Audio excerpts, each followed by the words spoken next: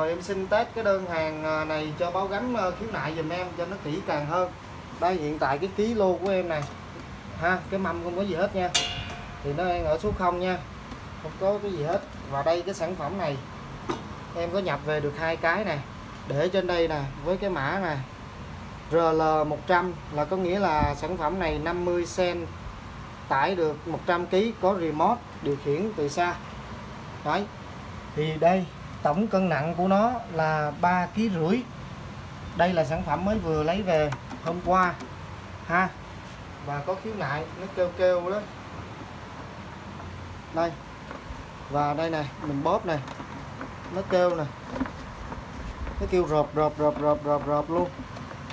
Là có nghĩa cấu tạo bên trong của nó ấy, là nó có vấn đề gì đấy? Mình không biết. Đây này đó. Bây giờ là cái đế này là đế màu đen này là mình nhập được trước. Mình nhập được hàng trước nhé đây. Mình nhập được hàng trước này.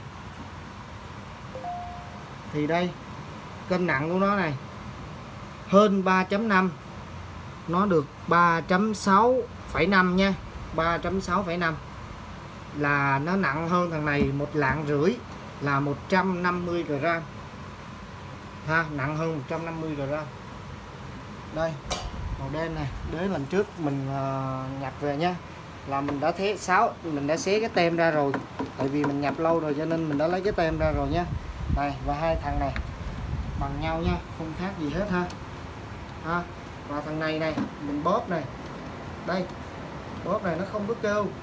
Đấy nha nó rất là cứng cáp. Đây mình bóp này nó không có kêu còn thằng này là bóp nó kêu nè. Đó, mới đụng vô nè. Đó, nó kêu nè. Là nó kêu này là do cấu tạo của nó không được tốt này rồi bây giờ mới cắm nào cắm điện vào này. Mình đứng mình đứng lên một lần này, mình test cho hai hai cái nha. Cái này mua sau nha. Cái này mua trước nha. Đấy. Rồi, bắt đầu mình test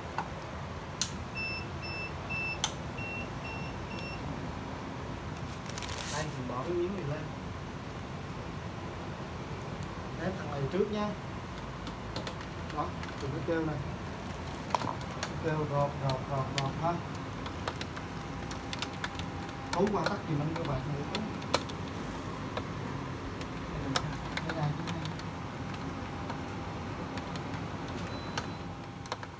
đó. Này, nó kêu rột rột rột rột như vậy này tải 100 kg nhưng mà mình chỉ mới có 70 kg thôi. Mà nó kêu như vậy rồi. Đấy mình xin chuyển qua cái này nha. Đây mình tắt cái này đi. Rồi mình rời ra xa đi ha. Để mình nghe một cái thôi. Đây test cái này test cái này. Đây cái này này đây, mình nhúng luôn này. Đây mình nhúng luôn này mà nó đâu có kêu đâu. Nó không có kêu nha. Đây mình đi luôn là mình di chuyển luôn này đây không có kêu cái gì hết nhé đây không kêu gì hết. Đó rất là ngon lành. Vì là lần sau này à, lần sau này là nó làm có vấn đề rồi nhé có vấn đề rồi. Bây giờ mình không xoay nè. Mình đứng dậy mình đi luôn. Đấy là kêu nè. Đấy kêu là thấy không đó. Này. kêu rồi đấy còn cái này này mình tắt nè. Bước lên mình đi nè. Đây, bình thường nha, không có một tiếng động gì hết. Là ok luôn. Rồi, vậy là phần à, thằng này nó bị à, lỗi về sản xuất của nó rồi ha. Rồi, xin hiếu lại cho bé.